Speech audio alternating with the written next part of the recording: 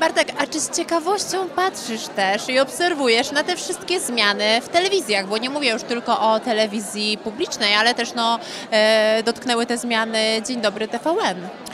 E, wiesz co, no, telewizja ma to do siebie, że się zmienia. Telewizja ma to do siebie, że goni za oczekiwaniami e, świata, goni za oczekiwaniami widzów, którzy też się zmieniają. Rozumiem, do czego pijesz. Pewnie zaraz zapytasz o transfer do pytania na śniadanie. E, rzeczywiście no, gruchnęła taka informacja. Natomiast powiem Ci szczerze, nie wiem kto to wymyślił, natomiast ktoś, kto to wymyślił ma niesamowitego telewizyjnego nosa, e, bo dostałem taką informację, że rzeczywiście gdybyśmy z Kasią e, Dowbor usiedli w pytaniu na śniadanie, to myślę, że bylibyśmy parą do zżarcia. Takie były komentarze. Ja też bym taką parę oglądał.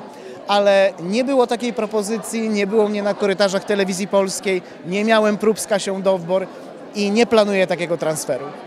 Czyli dobrze Ci tam, gdzie jesteś.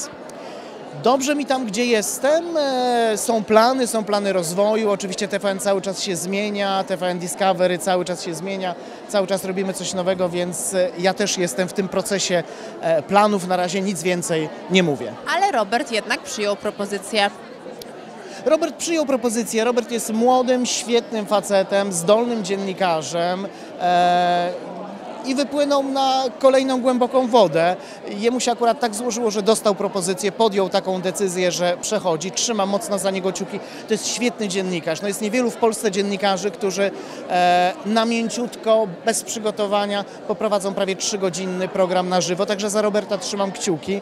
To jest mój kumpel, no już teraz z byłej redakcji, e, ale podjął taką decyzję, no umówmy się, życie zawodowe nie ma sentymentów, tak? To jak czasami pracodawcy z dnia na dzień, z minuty na minutę mówią, ty już tutaj nie pracujesz. Tak samo czasami pracownicy mówią, słuchaj, no jest inny plan, jest inny pomysł, e, mam inny pomysł, plan na siebie, dziękuję, do zobaczenia. I tak to wygląda. Telewizja to e, emocje i to cykl zmian. A nie byłeś na przykład zaskoczony jako jego kolega, że pomimo iż tak jak mówisz, ma warsztat dziennikarski, jest świetnym człowiekiem, jest ta charyzma, no nie dostał jednak propozycji, aby poprowadzić program Dzień Dobry TVN. Rozumiem, że pięknie zawoalowałaś pytanie, czy był doceniany, tak? Że przeszedł, bo nie był doceniany. Skąd wiesz, no może też uznał, że się nie rozwija, mogą być różne przyczyny. Słuchaj, telewizja ma to do siebie, że wciąga. Zaczynasz od bycia reporterem, potem jesteś prezenterem, potem prowadzisz programy, potem na żywo, potem wielkie show.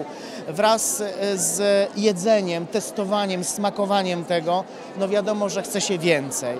I być może rzeczywiście tak się zdarzyło, że w tym momencie, w tym szczególnym momencie jakiejś specjalnej propozycji dla Roberta nie było, co nie znaczy, że nie byłoby jej za jakiś czas. I Robert podjął taką decyzję, ma do tego prawo, wielki szacun. I tak jak mówię, trzymam za niego kciuki, widzę, że już roz- rozwinął skrzydła i leci, e, jak jastrząb.